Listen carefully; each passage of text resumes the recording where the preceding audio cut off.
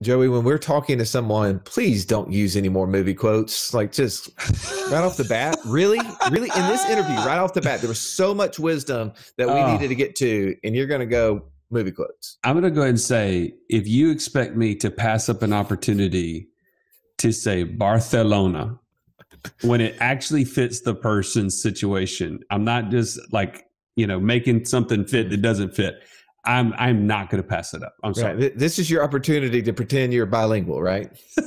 exactly. Hey, we're we're we're interviewing today Billy Keels from the Going Long podcast. This guy brought nuggets today, Joey. I was sitting no there thinking through all the steps that he talked about of why you need to understand what you're doing, what that goal is. It matches so much up with what we're talking about. Finding out where you want to invest, how to build a team I mean, it, it, it's just he's just speaking our language. Well, and and not to mention the importance of the support piece, right? The fact that he had people around him encouraging him to look into options that were outside of his comfort zone, right? I mean, he he made the point that he had grown up being the guy that was like the perfectionist, the guy that was making all the straight A's, doing what he thought was exactly what he was supposed to do. And yet it wasn't getting him to where he wanted to be. In fact, I totally resonate with the fact that your family and that time with your family is getting sucked away from you if you don't take action. Right. It's. I think it goes back to the thing that I've been on right now. It's just uh, hearing that Colin Powell quote, right? The 47 year old being willing to take imperfect action. For some of us, we're okay being imperfect. For Billy, right? Like he he he says he's a recovering perfectionist. Sometimes you, feel like you need a, a thousand percent of the information before you can move forward. And I think that that's what I was taking away from him. So if you're one of those that feel like you uh, you want more control, but you you're struggling to take that first step for whatever reason that you don't have enough information or you feel unprepared for what you're going to embark on. I think this interview with Billy is going to give you wisdom because he's doing investing not only from a different city, state, but from a different continent. Joey, I don't want to waste any more of our listeners' time. Let's jump into this interview right now with Billy Keels.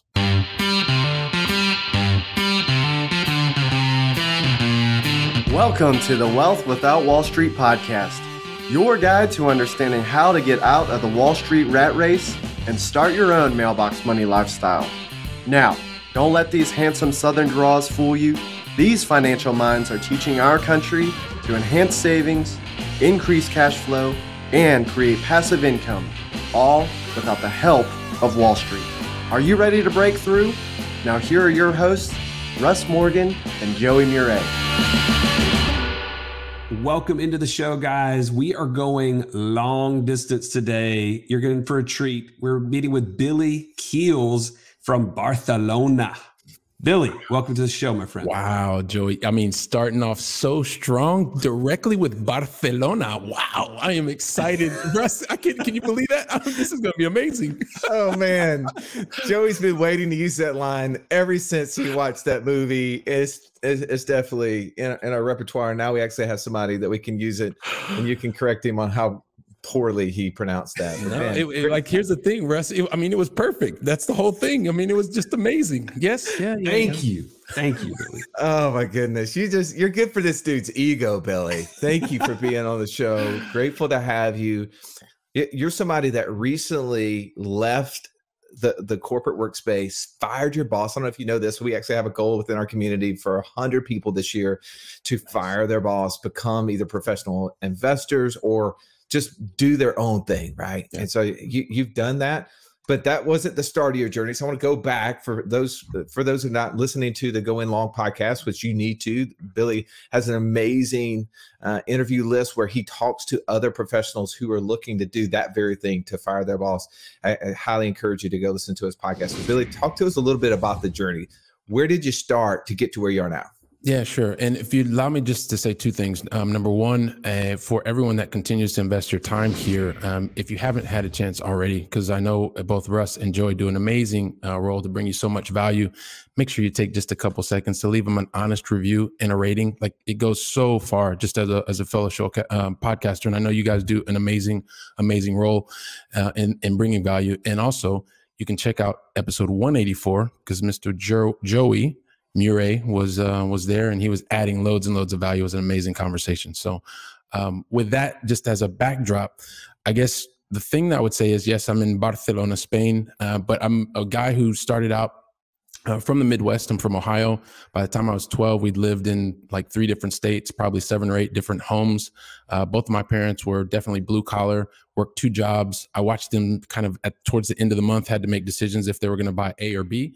We were never in a position where we didn't have things, but I watched just what my parents had to go through to make sure that they had the right things on the table for us. And they also made a lot of sacrifices to make sure we were in the right school districts so we had access to education everything really started there. Uh, by the time I finished college, went to college, had two degrees. Um, right after college, my world kind of changed completely. I had a chance to work and travel throughout some 58 different countries. After being rejected twice by my dream job, I thought the world was over. And little did I know the world completely opened up. I uh, had such an amazing experience after that five years in 58 countries that I didn't want to do a quote unquote normal nine to five. Uh, fortunately for me, I was accepted at a university in Paris called the Sorbonne uh, where I went to go learn how to uh, learn more about the French language and culture. I wanted to learn more about wine and I wanted to learn how to salsa dance. I don't have any idea where that last one came from, guys, but it was just that's what I wanted to do.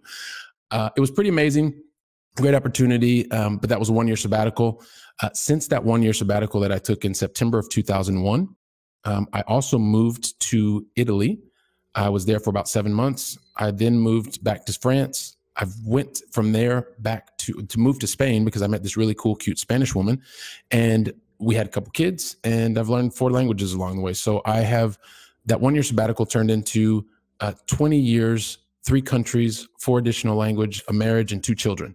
So that's the other thing that I always tell people: Hey, you got to be careful. You got to be careful. So, uh, man, I, Billy, I've been on a 30 day sabbatical and I've learned nothing in this period of time. So, I mean, wow, Joey, I think I need to take a couple more days off. I got some languages to learn. I don't know about the kids part. I, I think I got that covered. No, no, yeah, you're Stop good. You're there. Uh, I, salsa dancing, I could I could get in on that. That'd be that'd be at my speed. I, am more of a hustle guy, Billy, not Okay, salsa, all but okay. hey, you know, all right. All right. yeah, still no, you know, that's that's it's same same realm. yeah, it it no, it's, um, you know what? I'm just going to leave that one there. I'm not even going to go anywhere with that one. But I do want to come back and and answer the the question that you mentioned also too, kind of like how I get to how I got to this point. And one of the things that I had always done because I'm a recovering perfectionist, uh, which means that I was a good student in school. Like I got all A's, and one or two B's. College went really really well, and when I left, I also got in the corporate world. I was rookie of the year. I was in top talent programs. I was really, really doing every single thing that the corporation told me that I needed to do. And I was excelling, got the promotion opportunities, all this kind of stuff. But the thing is, I had this moment in my life and and it and, and my whole world literally changed like inside because while I was doing all of these things that I was supposed to do, I remember in 2000 the dot com bubble happened. And so I, you know, I don't come from a family with a lot of money and I was working really, really hard. I started to learn how to save and then invest. And all the money that I was putting with my financial advisor at the time, it kind of lost its value. And I was like, well, hang on a second. I freaked out. I was, you know, really concerned. Like, hey, what do I do? And, oh, you know, I got this thing like, hey, listen, there's this dollar cost averaging. You just keep putting in and you'll be okay. And that was true because like seven, six and a half, seven years later, everything was going really, really well. And then 2008 happened, and I had a um, really pretty negative event, and I lost 33% of the portfolio that I had on on paper, right? And so then I was completely freaking out. I was like, I don't know what to do anymore because it happened once, shame on them. Happened twice, shame on me. That's what my parents always told me. And so I got to a point that I needed to take more control uh, over my life. Uh, but I didn't really. I started reading books, but I didn't really do anything. I didn't take action. I was reading a lot, but not actually taking action. I knew things wanted to happen. Well, I also mentioned I was. We got married um, about I don't know, 14 months, 15 months later, or something. Our, our first child was born, and then we had another one 18 months later. And the thing I will never forget is, you know, I was as the good student. I was I wanted to do all the things, and I wanted to be the the great dad, and I wanted to be the great corporate soldier, and my kids were the thing that I kept saying, my wife and my kids, these are the most important thing for me. And on my son's third birthday in 2012, I'll never forget because I had to wake up at like 5 30, 6 o'clock in the morning. I had to be on a flight at about quarter to eight. I, I woke my wife up with our one year old, you know, you can imagine they're in the bed and half sleep and all this kind of stuff. We went and got the three year old up because I wanted to at least sing happy birthday to him. Because that same morning, I was on my way to the airport in a business meeting that I can't even tell you guys today what that business meeting was really about. Um, I remember us having a dinner that night and talking about all the plans we were going to do and the in the in the clients that we were going to serve, while my three year old son was having a birthday party with my in laws and my youngest son and my wife, and I missed that right? And that's something I can never ever get back. But I remember getting in the elevator that morning and, and it kind of my like literally my heart sank as I was going down the elevator and I was just thinking to myself, uh, something's not right here. I didn't want it. This is not what I should be doing. I should be leaving my family when when my son's third birthday. And so that was kind of the moment that things really changed. And I had to go from that theoretical knowledge that I was reading about to actually start taking action to get more control over my life so that I could actually do and have the freedom to choose and be with who I wanted to be when I wanted to be and and, when I wanted to be with them. So um, you asked me that, and it's probably not the best story in the world, but that was the day that things started uh, really changing for me inside and started taking action. Well, I, Billy, what you're saying is what so many people tell us when they engage with Wealth Without Wall Street in our process is it may not be in the exact same story, but it is some story that gave them an anchor point that said, this is when this stops happening yep. right? I, no longer am i going to just quote unquote put up with the default that life has kind of set me on a trajectory for and i've got to take action. So talk to me about you had this theoretical knowledge you had this moment. What was the first thing you did as far as an action step yeah. So the first thing that I did, and I, you know, I wish I had the book with me right now, is I when I've I sat down and I actually wrote down my goals. And I remember writing uh, over the period of time, you know, I said to myself, "Hey, listen, I, I want to be able to create." And I said, "I want to be able to create five thousand dollars of of of recurring income in the next five years, and have X number of doors under under um, in my portfolio." And then from there it was about how did how did i then take what i'd written down because i i've been i've been in sales and sales leadership for 26 years right so a lot of this is how do you write things down and then break it down and work towards the goal right work toward your annual sales quota similar type of thing and then so from there what i realized is i had a lot of theoretical knowledge but i didn't actually know what I could do. A lot of the books that I started reading, like I read, like most people, Rich Dad Poor Dad, and kind of went down that rabbit hole and wanted to do a lot of things. And so what I realized is that I wanted to buy real estate is what I wanted to start doing. And I, I looked and I took all the theoretical knowledge and I took that in here to Barcelona and I tried to figure out how that would work. Well, guys, I wasn't sophisticated enough at the time to realize that I'm not in that type of location. This is not a, an, a location where you can get, you know, cash flow. It's an appreciation market. And so all the numbers and the theory that I thought every single time I kept penciling it out, I kept showing up. It was you've got to pay 50 euros, you've got to pay 100 euros, you've got to pay 200 euros. And I was like, this doesn't work, guys. This doesn't work. And so one thing led to the next. I had a couple friends that were like, Billy, you're American. Why don't you look at buying property in the United States? And I was thinking to myself, are you serious? You really want me to buy in the United States? I live in Barcelona. Like the United States is like 10,000 kilometers from here. How am I supposed to be able to do that? Like that doesn't even make any sense to me. And but because I had these different friends that said this, I was like, oh my gosh, I need to take a, I need to figure this out. And so that's when I started figuring, okay, well, I have money in the bank. I knew that I had money. I wanted to gain more control. And so then I just had to start figuring out how do I get lending? And so I called family members and asked them if they knew somebody that could help me talk me through what lending was and how I would get more, uh, get a loan and all this kind of stuff. And then I met someone at, uh, at a bank.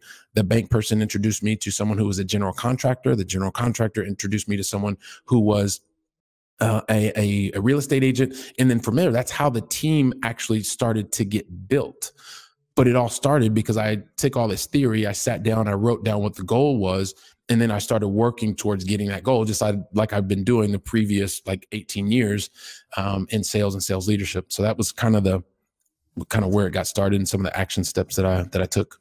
Yeah. Well, I mean, as everybody's listening to this, they're like, wait a second, this is exactly what Joey must preach every single time on this podcast. GPS, goal, plan, support. Like you gotta have the goal. You gotta be able to create a vision for yourself of what you want to do. Without that, you're just navigating without knowing if you're actually heading and getting closer to your path right? Whether that you know no matter what your thing is and that was your thing. So uh, also i hear in there and we get this a lot too billy is that man i'm afraid to invest in a city outside of where i live much less a state much less a country right? So talk talk us through a little bit of those things because you you mentioned like trying to find the people trying to find the real estate um, agents, right? Trying to find the team abroad. What were some of those lessons you learned that you could share with somebody who's thinking about investing in a city or state, much less a country away from where they are? Yeah. So I mean the, the first thing is just really and it's the same thing as you guys talk about. It's it's being really crystal clear on why you even want to do it in the first place. I knew I needed to control and I was definitely not going to go back to leaving any of my children or my wife or any of the events that for me were very, very special or for our family. Right. So that was the biggest thing being crystal clear on why you want to even take this track um, and then once that started to happen was was was really a matter of saying okay well i know where where my strengths are because I, I i know myself relatively well I know what I'm good at. I know what I'm not good at. Even though I'm a recovering perfectionist, I, perfectionist, I sometimes try to do too much. Um, but but basically, it was it was recognizing why I wanted to do it, and then I started being able to take take the steps. Right, it, and and it's no different. I mean, yes, I'm investing from a different continent, but the steps are the same. It's when you know why you want to do it, you then start building the team that can help you actually do it. Um, actually, let me tell it the other way around because what I did in the beginning is definitely what I would tell you not to do because I had the money. I started meeting people and then I just bought the property. Right. And and what I realized was when I bought the property, then the the the, the residents that were there were having problems. I didn't have any systems in place. Right. I had certain people, but I didn't have any systems in place. Um, and then I had to hodgepodge the team and then I didn't really know much about the location I was in. I just bought it because it was really a fear based decision because I didn't want, I thought if anything goes wrong, at least I can call family members and they can get there relatively quickly. Um, and that was it. Today, when you have the clarity of, of vision and why you want to do what you want to do, then you go to the location as you're talking about just now. And then from the location, you start to then, like we would do, like I mean, you could, I was doing it long distance. And so it started by picking up the phone. I realized what I wanted to do. I also recognized that I didn't know some certain things. So I had a paid mentor. And that was something that also helped me to gain even more clarity in terms of what I wanted to be able to do and how to go about doing it. And so it started by going to a lot of the different web based platforms that were there to find, get information on the different locations and start recognizing if there were certain realtors or if there were certain insurance people that I kept seeing all the time, that meant that these people were probably relatively active or pretty active in the locations where I wanted to invest. So guess who the people that I started calling were? Were the people that were actually being very active and being very visible. Um, and then being able to recognize did we align, did we not align, having initial calls uh, on by the phone or having them by a Zoom or Skype. But like any relationship, eventually when people understand that you are serious and that you want to not only build relationships you also want to make purchases you spend more time together you start exchanging you start understanding to see are you actually have the similar or the same mission vision and, and values most importantly and then at a certain point you will also have to put your money where your mouth is and i actually left barcelona barcelona and traveled to the united states to meet with the broker, the agent, the insurance people face to face because the relationship in the investment was important enough because I knew that I was in a certain location and I wanted to go deeper. And then from there, and what I've now realized is when the first three things are in line, meaning you know why you want to do it, you know what like location you want to go to, and you built the team that understands the location, understands what you're trying to achieve, and now what our investors are trying to achieve, then it doesn't matter what the what the opportunity is. It could be a four unit apartment building, a 300 unit apartment building. It could be, um, you know, energy equipment. It can be ATM machines. It can be any of that stuff. It could be land. As long as those four things are in, or- in order, then you set yourself up for the highest probability of success. I just read this comment. It was so drawing joy. I wanted to share it. I realized that my time is not really mine. It's my company's. Now I have to stop negotiating my time for money and I need to start working to become financially free. That's exactly how I felt when my daughter Adler asked me on the way to school, Dad, can you pick me up from school today? And I had to say, no, baby, I have to go to work. That's where I drew the line.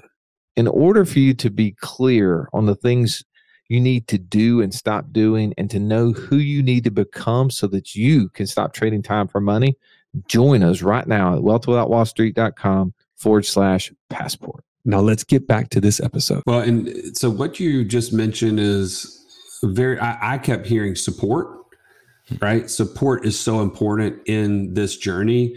Um, it came in the way of a mentor. And, you know, as you know, in our community, we have coaches who are there providing the support as well as the community members, which, by the way, if you're not a part of this community, Billy and I were talking offline about like that this is a labor of love, but it's a place where like Billy, you had friends that were pushing you in this space and like saying, Hey, why don't you look overseas? But how few people have that blessing, right? How few people are at their, you know, at their workspace and people are talking about financial freedom. It's it's rare, right?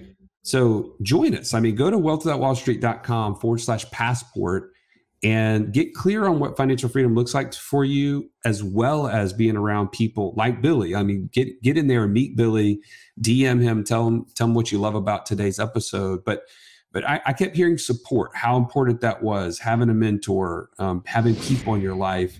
Talk about like how that then led into the next step. Like you went from single family type homes to then moving into other spaces you just kind of alluded to.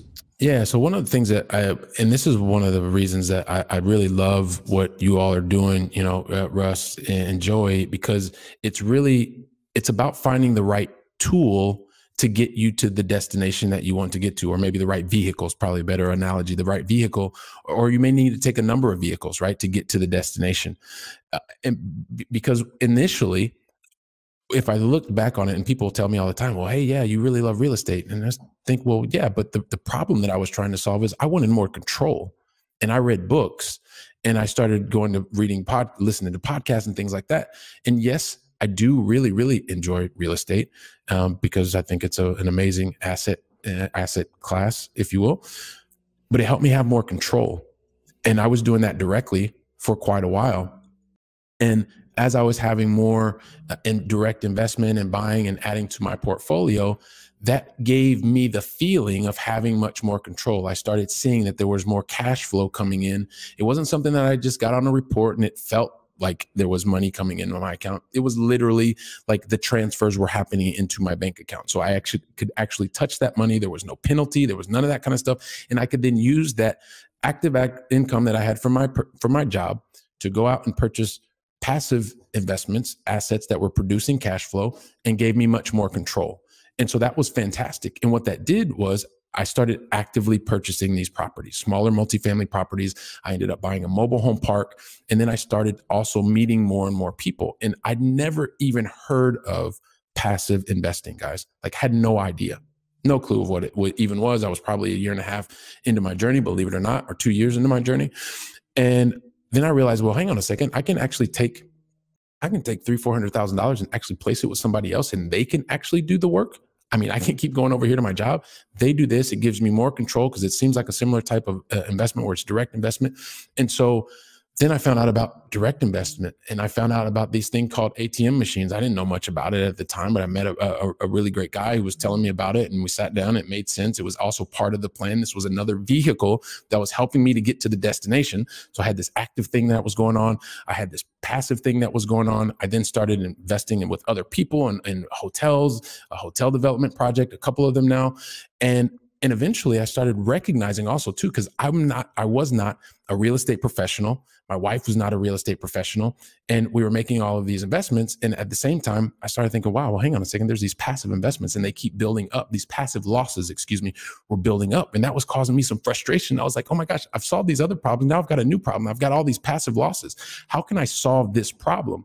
And then that's when i also through relationships met people that were in a space that were uh, that was in the energy space that in in these particular projects they helped me solve an issue that i had as a high wage earner and, and they helped me solve the active income problem and so now investing in another vehicle it's helping me to solve another problem that I had.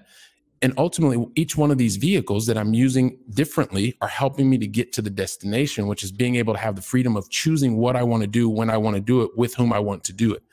And so it started in real estate, but that opened my mind to new possibilities. And then continuing to meet wonderful people like yourselves that are talking about new ideas and have people with experience, it just opens up the the, the perspective to getting to the destination that much faster. All right. So hopefully, so hopefully that hopefully that answers the question. Yeah, no, it, it does, and and I think uh, we've talked about this a lot on the show. Is that creativity is what is lacking when we are in the Wall Street mindset because the Wall Street mindset puts you in a position to just shut that part of your brain off, just keep your head down, work, and push your money into somewhere else where someone else is managing it, and it's a hope strategy. It's not something that you're taking active engagement in. Uh, but so it, it, makes sense that you start that process and it starts to open up more. I, I liken it to walking down a tunnel. And when you start seeing the end, the other side of the tunnel, it's just got this really small light, right? You can see there's something there, but you don't know the full gamut of it until you walk really further down. All of a sudden, it starts to open up. It was always there, but you couldn't see except for a small percentage of it when you first started. Now, but you mentioned something that I think hopefully as you're listening to this, you said, wait a minute, he said an active income problem. Like, what does that even mean? How, what do you, what did you mean by that? Yeah. So, and and I know I'll preface this, but a lot of people don't know. Like we're we're talking about ideas, concepts, not by no way giving anybody kind of advice. But, but one of the things that I did not realize, because once again, where I come from, we didn't have a lot of conversations about money, and even um, as someone who was in the corporate role and really good at my role and things like that, I never talked about or thought about money. And it wasn't just about, it was a lot of times I thought about how much more money can I make? Right? How much more money can I make? Because in sales, like you just make more, you know, want to make more sales. And then when you're in software sales, especially, I mean, you can have a lot of people that are really, really high wage earners. Not uncommon for me to know people in my network that are seven, seven figure bonus check people during a year. Right. And, and so what I started understanding was it's not just the income, it's how you earn your income. And so what I started realizing is that as I was investing in a lot of things passively, meaning that I was placing capital with others because of the types of um, assets that they were, they were producing non active or passive income and that's one way to earn money or that's one way to generate uh, income is through passively doing that. But then when you're working in your job so your w2 income for instance that is you're you're generating uh, revenue but that is the the irs looks at that as uh, active income or maybe you've heard earned income or, or ordinary income.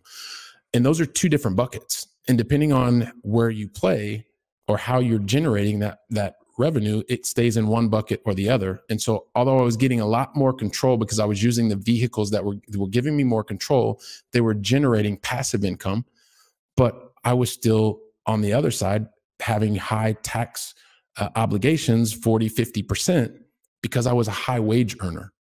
And so what that caused in me was a bit of conflict because I was thinking, well, hang on a second, I'm doing the right things again. This recovering perfectionist mentality, a student, hang on a second, I'm, I'm investing and this is happening and these things are great. And eventually I would be able to recuperate those those funds, those passive losses. It may take five years, 10 years, depending on what the investment opportunity was. But I thought to myself, I want to be like these really big corporations that have these really cool strategic five year plans, but then they're managing their business on a yearly basis. And if there was a way for me from my earned income or that active income, if I could recoup some of that that tax obligation and then use that in other types of investments that were passive that had a more tax efficient, then the, using these combined vehicles was a way to get me once again to the destination even faster. So the whole principle is understanding is the income passive income? Is it active income? And it also goes back to the whole point of making sure that you have the right team members because they can really help you understand what are the different tools, what are the different vehicles that you should be using to get you to your destination as quickly as possible. Hopefully that makes sense. What you're saying too is is that every time that we grow in our knowledge, we start to learn there's other things that we don't know, right? Oh yeah. Um, if we ever get to the point where we've arrived in knowledge, that's when we're really going to fail And as you were going down this path, you're finding new things, you're finding out new things about yourself, finding ways to grow. You're finding new mentors, you're finding new team members to add to your team. And then you're finding out, man, I got new challenges. I'm making more money, but I, I'm also giving up opportunity, which is costing me, right? Because then we start to really think about, well, what if I would have had the ability to write off all of those losses, get access to that capital today? How much more could I have done? Could I've gotten to my my number, my end goal faster if I could have done that. And every step away, as you're listening to Billy, you're, you're, realizing there's so much wisdom here. That's why we're telling you, you got to be listening to this podcast. You got to DM me within the community so that you can connect. And as Joey says, I mean, we've got to find other people who are on the same journey as we are. So you may be one of those who's just starting out and you need to just go through the whole passport challenge and find out what your goal is. You may be somebody who's listening to this as an accredited investor, high income earner. You're like, I've been doing a lot of things, but there's things clearly that I need to up my game to. And maybe for you, that's to join our passive income mastermind. You can go to wealthwithoutwallstreet.com forward slash club 200, where you can get access to people who are in this space, who have figured out these things ahead of time and are now a part of it that you can just tap into and not only get, but also give. Billy, there's so much wisdom here. We need to probably do 14 interviews to be able to get it all out of it. But I, I, I want to point people towards you. I want to um, have people that want to reach out outside of the community. Where would you tell them to connect with you? Yeah, so I was just going to say, first of all, I would say reach inside the community because that's the the easiest, fastest way. And I just I I love the app that you guys have, and I just think it's so easy. It's so cool. It's so so great, and it makes it easy to connect with everybody within the community. Uh, I also outside of the community, uh, uh, happy to connect with people through LinkedIn. That's one of the, my favorite ways. Uh, you can leave a personal invite. Let me know that you heard us or watched us here on the conversation today, which always helps the conversation. And also, very very happy to say you guys are one of the first to know that we we've just launched a new website, uh, which is really focused on how we're going to be best able to service and serve the the accredited investor. If you go to firstgencp.com, that's firstgencp.com for first generation capital partners, and uh, you can find out more about what we're doing uh, there. And uh, guys, I, I, just really, this has been awesome. I'm so excited about having had the opportunity, invest the opportunity here with you guys and, and be able to speak uh, to the entire community. And uh, it's, it's been an honor, definitely. So thank you very much but we're we're uh, constantly um, liking loving to hear stories like yours you know that we all didn't start in the same place but having the same trajectory and learning the same things we're hoping that this story will help people to shorten the time frame like that's what russ and i talk about is we're just beggars trying to tell other beggars where to find the bread. And man hopefully you don't have to stand as long a line as we did. So uh, man, Billy, thanks again. Uh, for you who are listening, we're so grateful for you and have an amazing day. This has been the Wealth Without Wall Street podcast. Don't forget to subscribe to the show to break free of the Wall Street mindset and begin building wealth on your own terms in places you understand so that your wealth will never run dry. See you next episode.